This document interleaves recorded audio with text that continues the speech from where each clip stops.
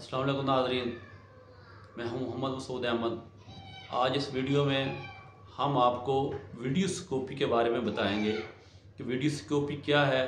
ہم انجن میں جو ویڈیو سکوپی کے ذریعے انجن کے جو سلنڈر ہیڈ ہے، اس کا انٹرنل ویو کیسے چیک کرتے ہیں اور اس کے ذریعے ہم ویڈیو سکوپی کا پورا جو طریقہ کار ہے، وہ آپ کو بتائیں گے۔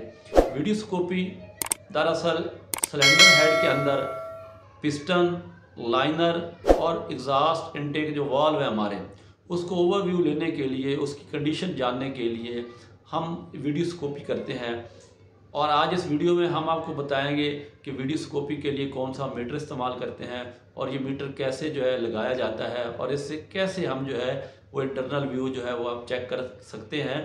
اور ویڈیو سکوپی کے ذریعے ہم سلنڈر ہیڈ کا جو انٹرنل ویو ہے وہ دیکھ کے ہم انجن کی جو اس کی پسٹن لائنر اور جو والز ہیں، اس کی ہیلتھ کا ہم کیسے پتہ لگا سکتے ہیں؟ تو یہ آج آپ کو اس ویڈیو میں دکھائیں گے۔